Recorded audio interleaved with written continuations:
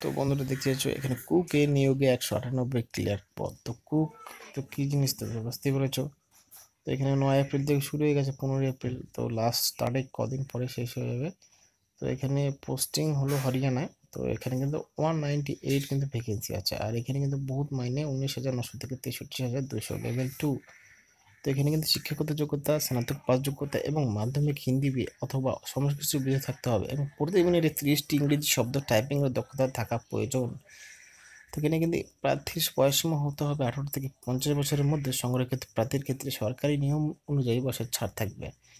তো এখানে কিন্তু এসটি জেনারেল আদালতের জন্য বারোশো টাকা আর ফিমেল জেনারেলের জন্য ছশো টাকা। আর যারা অল ক্যাটাগরি আছে এসটি এসটি যারাই আছে, তিনশো টাকা লাগবে।